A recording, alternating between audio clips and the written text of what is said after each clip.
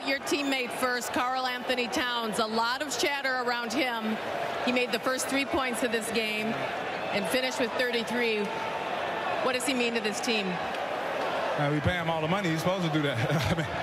I mean, um, you know, we expect him to do that every night. Obviously, it's just it's just one game. Um, first to win two games now. We're super excited. We know it's going to be a tough environment in Memphis, but we're ready for the challenge. You guys did a great job of defending without fouling. A great job on Morant. What did that take to get that done tonight?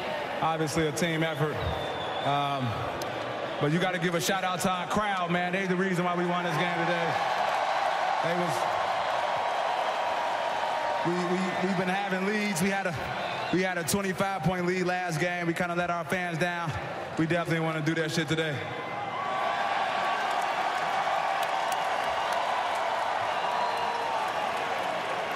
This one's all tied up, two to two. What do we know now about Memphis that can help you on Tuesday night going to Memphis to get that W? Get as much rest as we possibly can. Wolves, thanks, baby gang. Patrick Beverley, I mean, he got into Ja Morant tonight and did a great job defending Ja, who was 4 of 13 from the field, just 11 points. Beverley added 17 points of his own, including four made threes. And yes, Timberwolves fans, you are guaranteed a game six here in downtown Minneapolis next week.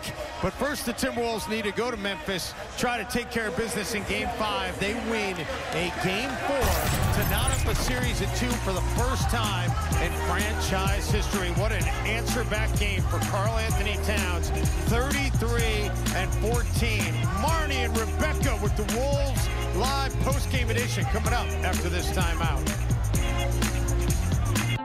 This is the feeling of